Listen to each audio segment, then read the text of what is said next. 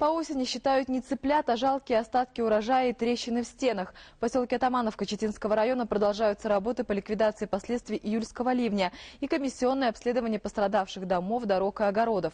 Что уже сделано сейчас и что еще предстоит сделать, узнавала Любовь Хорошева. Так выглядела Атамановка на следующий день после ливневого шквала. Десятки пострадавших домов, затопленные огороды и погибший урожай. В администрацию поселения поступило свыше 200 заявлений с просьбами о помощи от жителей, чьи дома оказались во власти стихии. Сегодня поселок почти оправился от удара. Восстанавливается первоначальный вид дорог и обочин. До сих пор подсчитывается ущерб. А впереди еще непочатый край работы. Вот так, например, теперь добираются до дома жители улицы Пристанционной.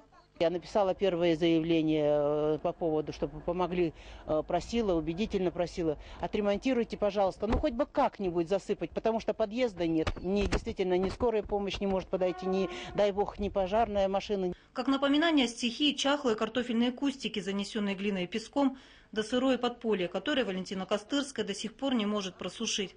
Правда, говорит хозяйка, в администрации ей, как и другим жителям, оставшимся без урожая, пообещали материально-социальную помощь в пределах 2000 рублей.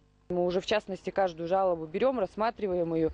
Э, также подрядные организации, у которых коммунальная техника имеется, занимаемся планировкой придомовых территорий. Если у кого-то какие-то, допустим, пожилые люди, инвалиды, э, оформляем акты обследования вот этих вот помещений всех э, и там необходимая, которая помощь по социальным вопросам вот им необходима, мы ее предоставляем. Эти кадры также были сняты два месяца назад, сразу после обрушения панельных плит пятиэтажки. Вот таким тогда был проем в нижней части балкона первого этажа. Бумажные маячки каждый день неумолимо показывали новый сдвиг. Это день сегодняшний. Даже при самом поверхностном осмотре разница очевидна. Не говоря уже о том, что по торцу жилого дома продолжает змеиться наверх большая трещина. Я на балкон выйти не могу, так у меня на балконная, балконная дверь заклинила. Я выйти на балкон не могу.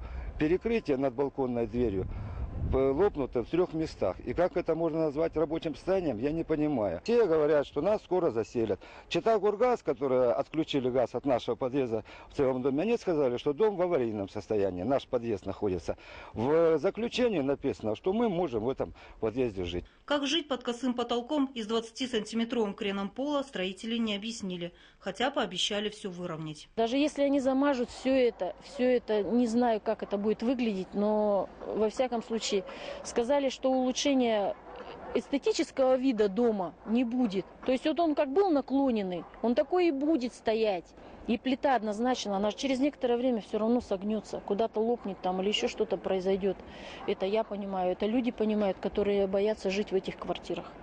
Сейчас полным ходом идет строительство водоотвода и реконструкция теплотрассы к многострадальному дому. Все восстановительные работы, как снаружи, так и внутри, должны завершиться до 20 сентября. Впрочем, жильцы аварийного подъезда этому не верят.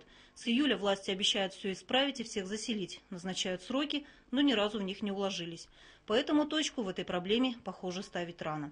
Любовь Хорошего, Дмитрий Денисов, Вести Чита.